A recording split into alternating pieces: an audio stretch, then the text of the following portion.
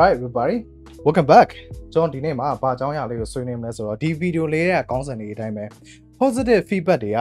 ကိုရီလူတွေအတွက်ဘယ်လောက်တောင်မှအရေးပါလဲဆိုတဲ့ကိစ္စလေးကိုဆွေးနွေးမှာပေါ့နော်အဲ့ဒါ positive feedback တွေဆိုတာဘာကိုပြောချင်တာလဲ positive feedback တွေဆိုတာချီးကျူးပေးတဲ့စကားတွေ ပြီးလို့ရှိရင်သူတို့ယုံကြည်ပေးတာတွေသူတို့အားပေးတဲ့စကားတွေသူတို့ supporting လုပ်ပေးတာတွေသူတို့ welcome ဖြစ်ပြီးတော့နည်းနည်းထွေးထွေးဆက်ဆံတာလေးအဲ့ဟာအကုန်လုံးကျွန်တော်ကဒါ positive feedback လေးတွေလို့ခေါ်ရဲပေါ့နော်အဲ့ဒါကျွန်တော်လူတွေတော်တော်များသိတာပြီးတဲ့အတိုင်းပဲ positive feedback တွေဆိုတာကိုယ်လူတွေတဲ့အရန်အရေးပါတယ်ဟုတ်တယ်မလားလူတယောက်ဆိုတာချီးကျူးစကားပြောပေးဖို့လိုတယ်သူတို့သူတို့ယုံကြည်ပေးဖို့လိုတယ်အဲ့ဒါမှလည်းသူတို့ရဲ့ self esteem တွေမြင့်တက်လာမယ်သူတို့ကိုသူတို့ယုံကြည်မှုရှိလာမယ်ပေါ့ဒါကျွန်တော်သိတာပြီးသားပေါ့နော်ဒါမဲ့အဲ့ positive feedback ကကျွန်တော်ထင်တာအထက်ပို့ပြီးတော့အရေးပါတယ်ဆိုတဲ့ဟာလေးကျွန်တော်ဒီနေ့မှာသိချလေးမျက်စိထဲမှာကိုကော့ကုန်းမြင်အောင်ရှင်းပြပေးချင်တာ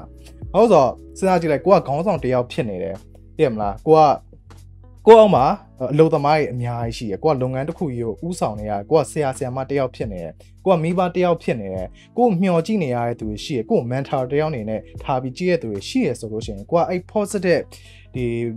feedback ဆိုတဲ့ဟာလေးကိုတည်တည်ချာချာလေးနားလည်ဖို့လိုတယ်။ကိုကအဲ့ positive feedback ကိုမျက်စိထဲမှာတော့ကိုယ့်ကိုယ်မြင်သွားပြီဆိုလို့ရှိရင်ကိုကကိုအောက်မှာရှိနေတဲ့သူတွေကိုပို့ပြီးတော့အောင်မြင်လာနိုင်အောင်စွမ်းဆောင်ပေးနိုင်တယ်။ပြီးလို့ရှိရင်သူတို့ရဲ့လုံးနိုင်ကိုင်နိုင်စွမ်းရည်ကိုပို့ပြီးတော့တက်လာနိုင်အောင်ကိုကလုပ်ပေးနိုင်တယ်။ပြီးရင်သူတို့ရဲ့ performance တွေမြင့်လာအောင်ကိုကပို့ပြီးတော့ကူညီပေးနိုင်တဲ့သူတွေတယောက်ဖြစ်လာရဲပေါ့နော် positive feedback အလောက်လောက်ထိတော့မှအရေးပါတယ်အဲ့လေကိုကျွန်တော်ဒီနေ့မှာပြောပြပေးချင်တာ အဲ့တော့အခုကျွန်တော်စဉ်းစားနေတာဒီခုဒီ positive feedback ဆိုတဲ့ဟာကိုကျွန်တော်ရှင်းပြရမယ်ဆိုလို့ရှိရင်မျက်စိထဲမှာတေချာမြင်အောင်ရှင်းပြရမယ်ဆိုလို့ရှိရင်ဘယ်လိုနီးလန်းနဲ့ရှင်းပြပေးခြင်းလဲဆိုတော့ကျွန်တော်လက်တလောကဖတ်ခဲ့ရတဲ့ဒီ psychology နီးလန်းလေး theory လေးတစ်ခုပေါ်မှာမူတည်ပြီးတော့တေချာလေးရှင်းပြပေးမယ်အဲကြောင့်လို့ရှိရင်မျက်စိထဲမှာတေချာလေးမြင်သွားမှာပေါ့နော်အဲ့ဒါရရှေ့ဝေးပြောမယ်တော့စလိုက်ရအောင် အခုကျွန်တော်ဒီပြောမယ်ဒီ psychology theory လေးကဘာလို့ခေါ်လဲဆိုတော့ Pygmalion effect လို့ခေါ်ရပေါ့နော်ဒီ Pygmalion effect ကို Dr. Rosenberg ကစတင်ပြီးတော့မိတ်ဆက်ပေးခဲ့တယ်အဲကြောင့်မလို့ Pygmalion effect ကို Pygmalion effect ဆိုပြီးတော့သိကြသလို Rosenberg effect ဆိုပြီးတော့လည်းတော်တော်များများသိကြရပါတော့အဲ့တော့ Pygmalion effect ဆိုတာဘာလဲအဲ့ဒါနဲ့ positive feedback နဲ့ဘယ်လိုမျိုးဆက်ဆက်မှုရှိလဲ well ဒီ Pygmalion effect ဆိုတာဘာလဲဆိုတော့သူ့ရဲ့ definition ကဒီမှာဒီမှာအဲ့မှာကျွန်တော်ကတ်ထားပေးရအဲသူ့ရဲ့ definition ကဘယ်လိုမျိုးလဲဆိုတော့အဲ့ definition ကိုကျွန်တော်နားလဲတယ်လို့ပြန်ပြီးပြောရမယ်ဆိုလို့ရှိရင်ကိုကလူတစ်ယောက်ပေါ်မှာအဲ့လူတစ်ယောက်ပေါ်မှာ expectation မျှော်လင့်ချက်ကြီးကြီးမားမားတွေထားတယ်သူ့ကိုယုံကြည်ပေးတယ်သူ့ကိုအကောင်းမြင်စိတ်နဲ့အဲ့လိုမျိုးဆက်ဆံပေးတယ်ကိုအောင်မြင်မဲ့သူတစ်ယောက်လို့သူ့မြင်တယ်ဆိုလို့ရှိရင်အဲ့တိုင်းလေးဆက်ဆံပေးလိုက်တယ်ဆိုလို့ရှိရင်အဲ့လူတစ်ယောက်ကပါအလိုလိုနဲ့အောင်မြင်တဲ့သူတစ်ယောက်ဖြစ်သွားတယ်ဆိုတဲ့ဟာကိုကျွန်တော် Pygmalion effect လို့ခေါ်တယ်အဲ့လိုပဲကွာလူတယောက်ကိုသိရမလားဒါအဲ့ကောင်ချွတ်တာပါကွာအောင်မြင်မဲကောင်မဟုတ်ပါဘူးဆိုပြီးတော့အဲ့စိတ်နေစိတ်ထားနဲ့အဲ့တိုင်းနေဆက်ဆံလိုက်တယ်ဆိုလို့ရှိရင်အဲ့လူတယောက်ကအောင်မြင်တဲ့သူတယောက်မဖြစ်လာဘူးဆိုတဲ့ဟာပြောင်းမြန်ပေါ့အဲ့ဟာအဲ့ concept တစ်ခုလုံးကျွန်တော် Pygmalion effect လို့ခေါ်တယ်ရှုပ်သွားလားမသိဘူးကျွန်တော်မျက်စိအာဥပမာလေးပေးပြမယ်ဥပမာထိုင်းပါတော့ကိုကိုနဲ့မောင်မောင်နဲ့နှစ်ယောက်ရှိရပေါ့နော်ကိုကိုနဲ့မောင်မောင်နဲ့နှစ်ယောက်ရှိရပေါ့အဲ့နှစ်ယောက်စလုံးကသူတို့ကဘတ်စကတ်ဘောကစားခြင်းကြရတယ်ဘာလို့လဲဆိုတော့သူကဘတ်စကတ်ဘောမှာကစားတတ်လို့ဘတ်စကတ်ဘောနဲ့ပတ်သက်လာတဲ့နှစ်ယောက်စလုံးကတကယ်ဟိုမှာ အရန်ညံ့နေပေါ့ကွာဒါမဲ့သူတို့နှစ်ယောက်ကတင်တန်းနှစ်ခုမတူညီတဲ့တင်တန်းနှစ်ခုကိုသွားပြီးတော့တက်ကြတယ်ကိုကိုတက်တဲ့တင်တန်းကတစ်ခုမမောင်တက်တဲ့တင်တန်းကတစ်ခုပေါ့ဒါမဲ့တစ်ခုကောင်းသွားတာကိုကိုကဘယ်လိုဖြစ်လဲဆိုတော့ကိုကိုတင်တန်းမှာ တွေ့တဲ့ဒီဆရာကကြတော့ဒီ positive feedback ကြောင်းနားလဲကိုကိုက basketball မှာမတော်ပေမဲ့သူကသူ့ကိုစော့လာအောင်လို့စိတ်ပါလောင်လို့အားပေးတယ်သူ့ကိုချီးမြှောက်ပေးတယ်ဒီမှာသူ့ကိုတေချာလိုက်ကွာ positive feedback လေးပေးရပေါ့အဲ့လိုမျိုးပေးလိုက်တော့အဲ့ဆရာပေးလိုက်တော့ကိုကသူ basketball မှာစုပ်ပေးမယ်တဖြည်းဖြည်းနဲ့သူ့ကိုသူ confidence ရှိလာတယ် အဲ့မှာပျော်လာတယ်အဲ့တနန်းမှာပျော်လာတယ်ပျော်ပြီးတော့အဲ့တနန်းကိုသူခဏခဏအမြဲတမ်းသွားတယ်တဖြည်းဖြည်းနဲ့အဲ့လိုမျိုးသွားလိုက်ဆရာမြှောက်ပေးလိုက်သူပျော်လိုက်ကိုယ့်ရဲ့ self confidence တွေတက်လာတယ်နောက်ဆုံးစဝိုင်းလေးလဲတိုင်းလဲတိုင်းမှာသူကကိုကိုကဘယ်လိုဖြစ်လာလဲဆိုတော့အဲ့ basketball မှာအရန်တော်သွားတယ်ပေါ့မမောင်မမောင်ကကြတော့အဲ့လိုမျိုးမဟုတ်မမောင်သွားတဲ့တနန်းကကြတော့ချွတ်တာ ချွတ်တားဆရာနဲ့သွားတွေ့တယ်အမြဲလို့လို့ဒေါသထွက်ပြီးတော့တနန်းသားရေဆိုလို့ရှိရင်မင်းတော့စောက်သုံးမကြောက်ဘူးဒီလိုလုပ်လေဟိုလိုလုပ်လေမင်းဒါလေးတော့မလုပ်တော့ဘူးလားဘာဖြစ်တယ်ညာဖြစ်တယ်ဆိုပြီးတော့ကွာအမြဲတမ်းလို့လို့ negative feedback တွေအမြဲတမ်းပေးရပေါ့အဲ့ဒါအဲ့လိုမျိုးဘယ်လိုမျိုးဖြစ်လဲဆိုတော့ကိုကိုကကြတော့စဝိုင်းလဲတိုင်းလဲတိုင်းမှာအရန်ကောင်းပြီးတော့ဘတ်စကတ်ဘောမှာပျော်လားတင်တန်းမှာပျော်လားအဲ့အဲ့ အတိုင်းဝိုင်းလေးနဲ့ပျော်လာပြီးတော့နောက်ဆုံးမှာတော်တဲ့သူဖြစ်သွားပြီးတော့မောင်မောင်ကကြတော့တင်းတန်းသွားအဆူခံကအစဲခံကသူ့ရဲ့ self esteem နေကြပြီးလို့ရှိရင်အဲ့ပေါ်မှာစိတ်မပါစိတ်မပါတော့သူ့ရဲ့ performance ကကြတဖြည်းဖြည်းနဲ့စဝိုင်းလဲသွားရင်လဲသွားရင်မှာနောက်ဆုံးဘယ်လိုဖြစ်လဲဆိုတော့မောင်မောင်က basketball တော့ဆက်ပြီးတော့မစော့ဖြစ်တယ်ဟုတ်ပေါ့နော်အဲ့တော့ကြည့်ကြည့်လိုက်သူတို့နှစ်ယောက်ကိုကိုနဲ့မောင်မောင်နဲ့ကြားမှာဘာကွာဝါလဲဆိုတော့သူတို့ဆရာဆက်ဆံပေးခဲ့တဲ့ဟာပေါ်မှာမူတည်ပြီးတော့ကွာဝါတယ်ကိုကိုရဲ့ဆရာကကြတော့ positive feedback တွေအရန်ပေးတယ် မမောင်ရဲ့ဆရာမမမောင်ရဲ့ဆရာကကြတော့ negative feedback တွေအရန်ပေးတယ်ကိုကိုရဲ့ဆရာကိုကိုအောင်မြင်မဲ့သူတယောက်လို့ယုံကြည်ပြီးတော့အောင်မြင်မဲ့သူတယောက်လို့ဆက်ဆံတယ်မမောင်ရဲ့ဆရာကကြတော့မမောင်ချွတ်တားလို့ဆက်ဆံတယ်ကြာကြာချုံးမဲ့သူတယောက်လို့ဆက်ဆံတယ်အဲ့ဒါဒီဒါဒီတော့ကျွန်တော် Pygmalion effect လို့ခေါ်ရပေါ့နော်ပြီးလို့ရှိရင်နောက်ထပ်မျက်စိထဲမှာမြင်သွားတော့ကျွန်တော်ဥပမာလေးတစ်ခုပေးပြမယ်အဲ့ Brody Professor Rosenberg ပေါ့နော် Rosenberg ကအကြောင်းတစ်ကြောင်းကိုသွားတယ်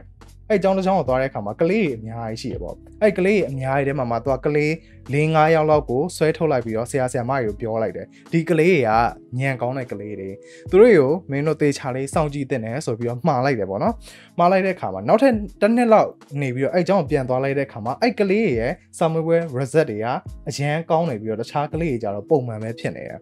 ဘာလို့လဲဆိုတော့အဲ့ဆရာဆရာမတွေကိုယ်တိုင်ကအဲ့ကလေးတွေကိုကွာဒါဟိုသိရမလား psychologist ကပြောသွားတယ်ဒီကလေးကညံကောင်းတဲ့ကလေးတွေငါတို့တို့သေချာသင်ပေးရမယ်သေချာ queue site ပေးရမယ်ဆိုပြီးတော့လှုပ်ချလိုက်တဲ့အခါမှာအဲ့ကလေးကညံ summer result တွေအရန်ကောင်းသွားရပေါ့ဒါပေမဲ့အဲ့မှာလေ plot twist ကပါလဲဆိုတော့အဲ့ကလေးကိုအဲ့ဟို Rosenberg ရွေးထုတ်ခဲ့ရဆိုတာဒါညံကောင်းလို့ရွေးထုတ်ခဲ့တာမဟုတ်ဘူးဘာမှမဟုတ်ဒီတိုင်းလေးပဲသူ့သူလက်ညှိုးထိုးပြီးတော့ဟိုကလေးဟိုကလေးဆိုပြီးတော့ random ထုတ်သွားတာညံသူများသူများတွေတဲ့အရင်ညံကောင်းနေသလိုလည်းမဟုတ်သလိုသူများတွေနဲ့ပတ်သက်ပြီးတော့ special လည်းအရင်မဖြစ်နေဘူးဒါပေမဲ့ तू က အဲ့လိုမျိုးဆရာဆရာမတွေကို site ကိုထည့်ခြင်းတဲ့အတွက်ကြောင့်အဲ့လိုမျိုးပြောပြီးတော့မှားလိုက်တဲ့အခါမှာအဲ့ကလေးကိုသူတို့ဟိုအဲ့လိုလုပ်ပေးလိုက်လိုက်တဲ့အခါမှာအဲ့တာမန်ကလေးရပဲအရင်အရင်နေတော်သွားတယ်ပေါ့နော်